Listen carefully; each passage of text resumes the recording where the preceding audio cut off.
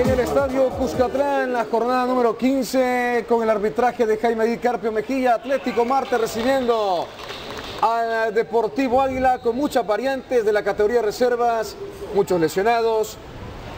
El jugador que pagaba juego de suspensión, el cubano Jaikel Pérez, probaba Marte, disparo, el rechazo de Benji Villalobos y aquí la tuvo Cristian Gil Mosquera para conseguir el primero.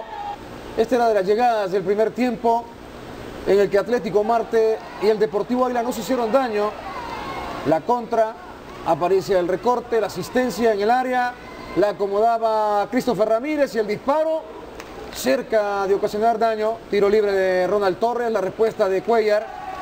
Pelota que quedaba suelta, seguía presionando, estábamos en el segundo tiempo, esta asistencia, el 1 y 2, la cubre muy bien, trata de acompañarse, se le ofrece el jugador eh, de Atlético Marte era Benítez.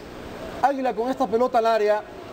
Presionaba, ya se habían realizado algunas modificaciones. Más en el Atlético Marte, la asistencia, pelota en profundidad y Macia, ¡pum! El 1 a 0 estaba consiguiéndolo el cuadro de Atlético Marte cuando era mejor en la posición del balón, llegaba sobre minuto 74, este gol del argentino que sigue anotando, que sigue marcando, pero que lamentablemente parece que los números no le van a favorecer al cuadro carabinero. Se cobraba este saque de esquina, seguía presionando por banda derecha, el sector donde más apostó Marte a llevar peligro. Ahí estaba el servicio para Eric Molina y ¡pum! el 2 a 0.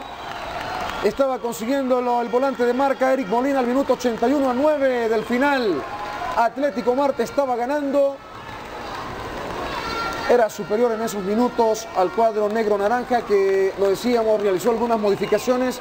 Jugadores de la categoría de la categoría de, reservas que prácticamente le pasan factura al cuadro negro-naranja que prácticamente pierde y se queda con 12 puntos.